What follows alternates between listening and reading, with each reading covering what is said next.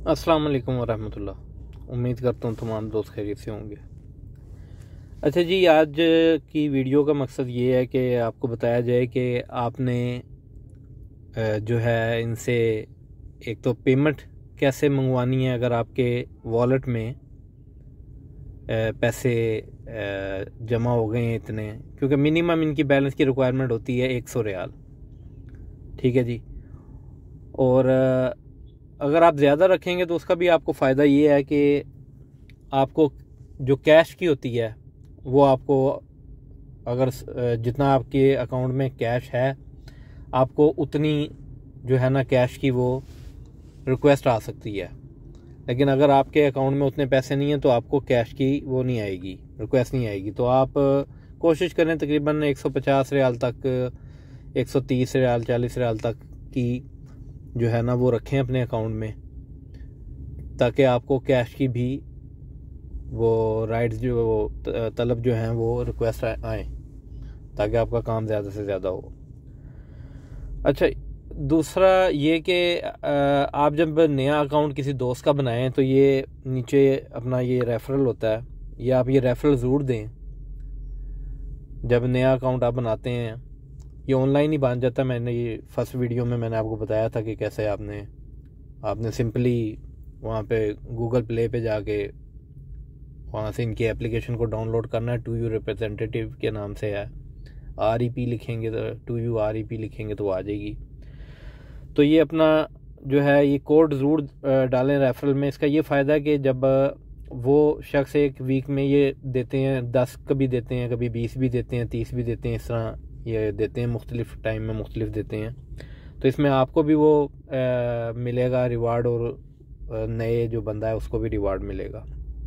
अच्छा जी इस पर आ जाते हैं कि आपने सबसे पहले तो पैसे मंगवाने से पहले जो आपने करना है ये प्रोफ़ाइल में ये देखें ये प्रोफ़ाइल में आके ये बैंक है ये बैंक में आना है आपने। यहाँ पे मेरा ये राज़ी का अकाउंट जो है ये ऐड हुआ हुआ है। ठीक है जी? तो अब जब आप इसको यहाँ पे डिटेल डालेंगे तो आप बैंकल राज़ी ही लिखेंगे यहाँ पे बैंक का नाम आ, आ रहा होता है यहाँ पे। आप बैंकल राज़ी लिखेंगे और यहाँ पे इसका आई बैन लिखेंगे। ठीक है जी? ये जो आर जे एच आई आ रहा है ये आफ्टर कंफर्मेशन आ रहा है ये कंफर्मेशन पूरी करते हैं। और उस कंफर्मेशन के बाद ये जो है वो ये आपका आर जे एच आई आएगा। ये अलराजी बैंक है। और अगर आपका ए एन बी या रियाज बैंक का जो भी है ना, फिर ये उसका शॉर्ट फॉर्म आता है। इसका मतलब ये है कि आपका अकाउंट जो है वो रजिस्टर्ड हो चुका हुआ है। ठीक है जी? जब आप इसको चेंज करेंगे, अगर कोई और बैंक करना चाहते हैं तो फिर वो उसके हिसाब से वो उसको अनिशल उसका, ये आप कह सकते हैं कि इसका अनिशल है। जब तक बैंकल राज़ी आप लिखा होगा, तब तक ये कंफर्म नहीं होगा। जब इसका अनिशल आना शुरू हो जाएगा तो आप समझें कि ये आपका रजिस्टर्ड हो चुका हुआ है और उसके बाद ही ये पेमेंट को ट्रांसफ़र करेंगे। और आपको नेक्स्ट वीडियो में बताऊँगा कि कुछ लोगों का बैंक अकाउंट नहीं बनते, क्योंकि उनके प्रोफेशन जो हैं वो उसके मुताबिक नहीं होते, जो बैंक एक्सेप्ट करता है। तो वो उनका एस टी सी पे का सिर्फ़ अकाउंट बनता है और एस टी सी पे ये एक्सेप्ट नहीं करते।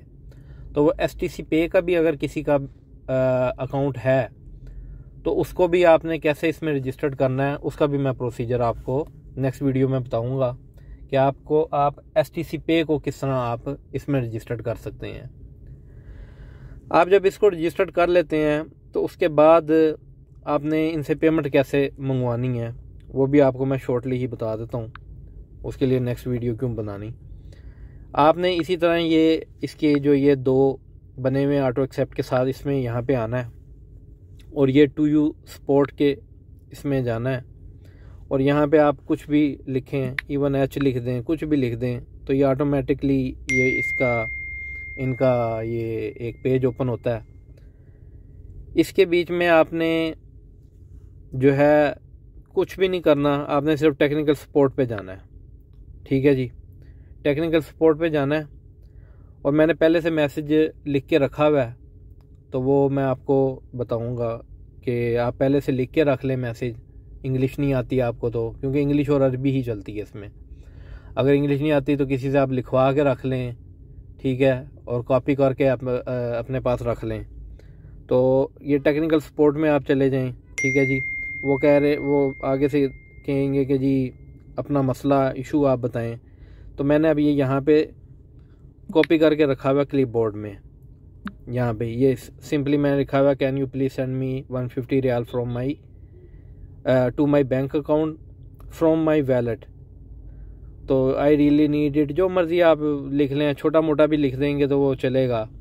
ये फोर के स्पेलिंग भी गलत हुए हैं एफ़ ओ आर ठीक है जी। तो आप इसको सेंड कर देंगे। लेकिन वो फिर लिखेंगे आगे से कि please allow us some time to check the issue we will get back to you as soon as possible ये वगैरह। अभी ये यहाँ पे आपका मसला हल नहीं हुआ है। ये 150 का जो मैसेज किया है ना, अब वो नेक्स्ट मैसेज यही आएगा, इससे पहले भी मैंने मैसेज किया था। नेक्स्ट मैसेज यही आएगा कि हमने ये फॉरवर्ड कर दिया हुआ है। ये देखें, ये पहले भी मैंने किया था इनको। तो उन्होंने कहा कि जी नेक्स्ट आपको फॉरवर्ड ये मैसेज आपका ना कंसल्ट डिपार्टमेंट में फॉरवर्ड कर दिया है। तो आपको अनकरीब जो है ना वो टू यू का नुमाइंदा कॉल करेगा। लेकिन वो टू यू का नुमाइंदा कॉल नहीं करेगा। ठीक है जी? अभी ये मुझे फ़िलहाल पैसे नहीं चाहिए हैं तो ये मैं आपको समझाने के लिए सिर्फ़ ये किया था। और ऊपर भी जो मैसेज मैंने किया था, पहले चेक करने के लिए किया था कि सिस्टम इनका चल रहा है तो फिर मैं वीडियो बनाता हूँ।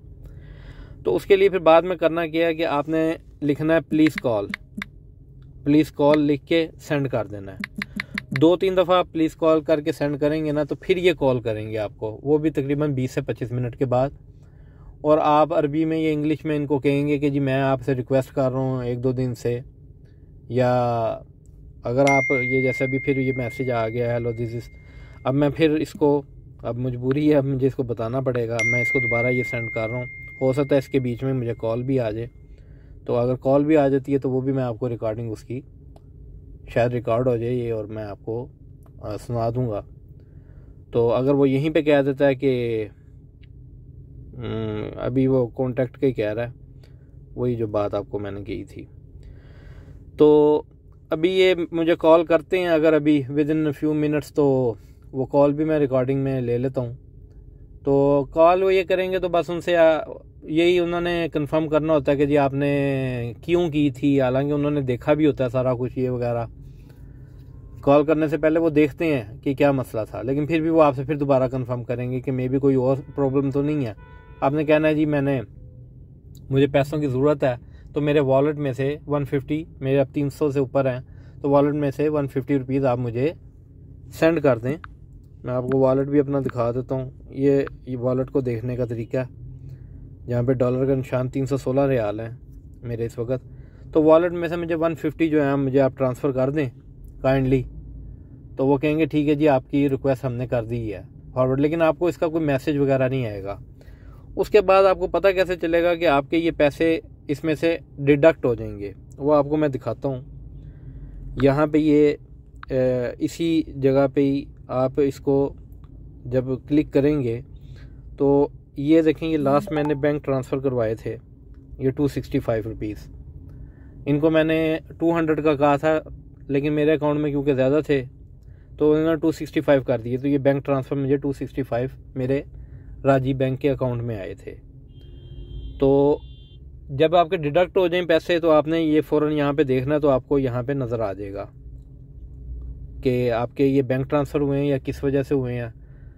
सम टाइम ये, वो भी पेनल्टीज़ भी डालते हैं, उसके भी कटते हैं पैसे तो वो एक नेक्स्ट इशू है। कि आप ये ना ना समझें कि उसी के बीच में जो आपने रिक्वेस्ट की है तो अब आपके पैसे कम हुए हैं तो शायद उन्होंने भेज दिए लेकिन आपने लाजमी ये देखना है कि ये बैंक ट्रांसफ़र है कि ये पेनल्टी है या क्या है।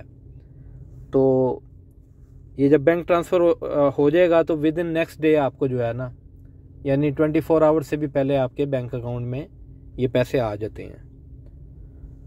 तो वीडियो देखने का बहुत बहुत शुक्रिया। थोड़ी सी वीडियो लंबी हो गई है। लेकिन दो वीडियोस का काम एक ही वीडियो में मैंने कर दिया है। जजाकल्ला चैनल को सब्सक्राइब करें और इसी तरह की मालूमती वीडियोस मैं अपलोड करता रहूँगा, जिससे आपका मज़ीद फ़ायदा ही होगा इन जजाकल्ला जी, अल्लाह हाफिज़। बहुत बहुत शुक्रिया।